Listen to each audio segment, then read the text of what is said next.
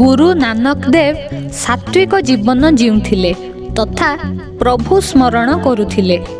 ଥରେ ତାଙ୍କ ନିକଟକୁ ଜଣେ ବ୍ୟକ୍ତି ଆସିଲେ ଏବଂ କହିଲେ ବାବା ମୁଁ ଚୋରି ତଥା ଜଘନ୍ୟ ଅପରାଧ କରୁଛି। ମୋ ଜୀବନ କିପରି ସୁଧୁରିବ? ଏପରି କୌଣସି ଉପାୟ ବତାନ୍ତୁ ଗୁରୁ ନାନକଜୀ କହିଲେ ତୁମେ ଚୋରି ବା ଅନ୍ୟ ଭୁଲ କାମ କରିବା ବନ୍ଦ କରିଦିଅ। ତୁମର କଲ୍ୟାଣ ହୋଇଯିବ। ସେହି ବ୍ୟକ୍ତି ତାଙ୍କୁ ପ୍ରଣାମ କରି ଲେଉଟି ଗଲା।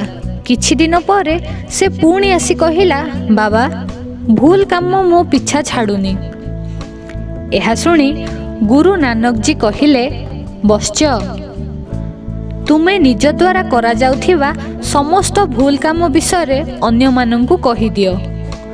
ଚୋର ଆଗାମୀ ଦିନ ଚୋରି କଲା କିନ୍ତୁ ସେ ଅନ୍ୟକୁ ବତାଇବା ପାଇଁ ସାହସ ଜୁଟାଇ ପାରିଲା ନାହିଁ। ତାକୁ ଲାଗିଲା ଯେ ଲୋକମାନେ ତାହାକୁ ଘୃଣା କରିବାକୁ ଲାଗିବେ।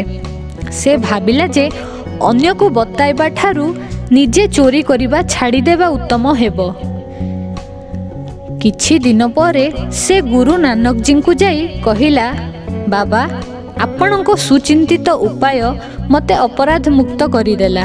ଏବେ ମୁଁ ପରିଶ୍ରମର ଉପାର୍ଜନରେ ନିଜର ନିର୍ବାହ କରୁଛି।